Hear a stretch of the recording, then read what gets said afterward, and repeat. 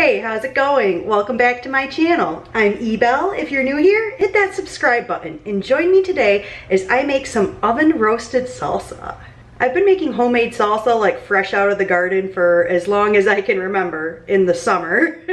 but I saw a recipe for like a salsa verde that had you roasting the tomatillos in the oven and I thought, OMG, I have some tomatoes that have gotten wrinkly and I need to use them up so I'm going to make an oven roasted salsa with those. It's been a little humid and my tomatoes were sitting out on the counter and they started getting pruny so I'm going to take my two packs of grape tomatoes along with some fresh jalapeno, fresh green pepper, red onion, and garlic.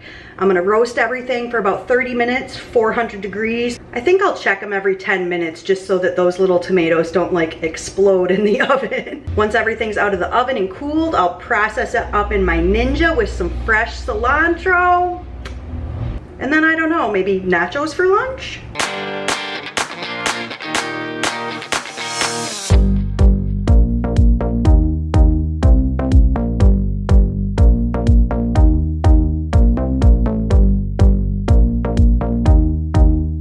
OMG, the smell. It smells so good. I did hear a couple of the cherry tomatoes pop and it kind of scared the crap out of me so I have to see if it made a mess in the oven when I'm done. And I did a whole clove of garlic but I don't know, that might be too much for the amount of tomatoes I have. Although I do love garlic. All right, I'm gonna give this a few minutes to cool down, get my cilantro ready, and then I will get it blended up.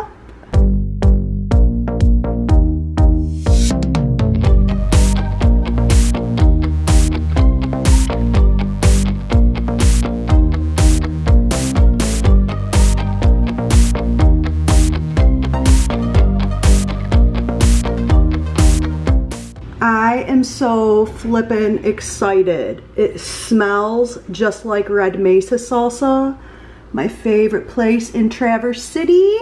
Taste test, see if we need any more garlic or cilantro, but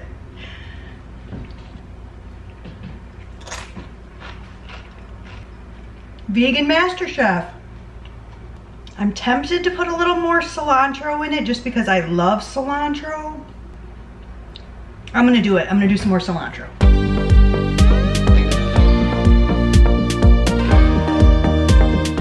Taste test number two. More cilantro was the right move. I think it's perfect.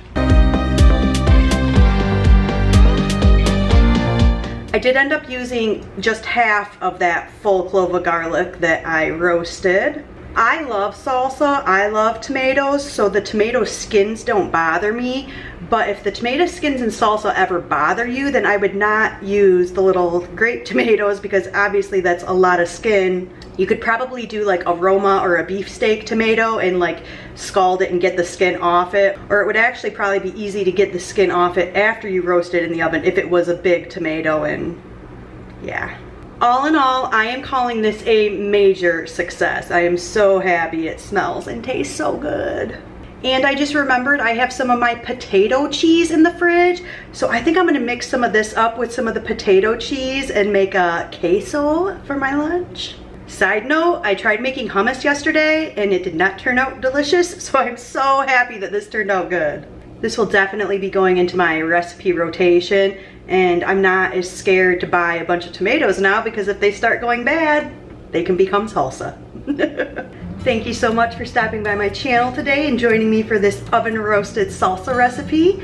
Until next time, don't forget to subscribe and I'll see you in my next one. Be well.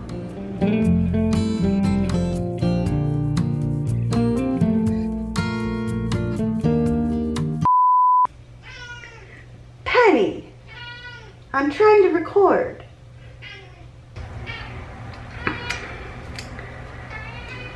How do I want to say this?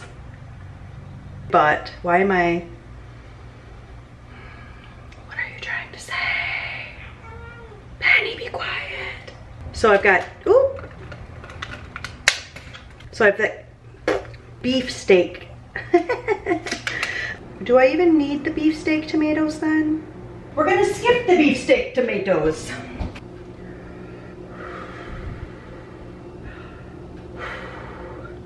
What Sharpay say in High School Musical? Okay, last time. Some fresh cilantro, maybe a little lime juice. Why did I say lime juice when I don't have lime juice? Stop rambling. So I did use, do I wanna do that one more time? I feel like my gums were sticking or my lips were sticking in, whatever. Boom, done.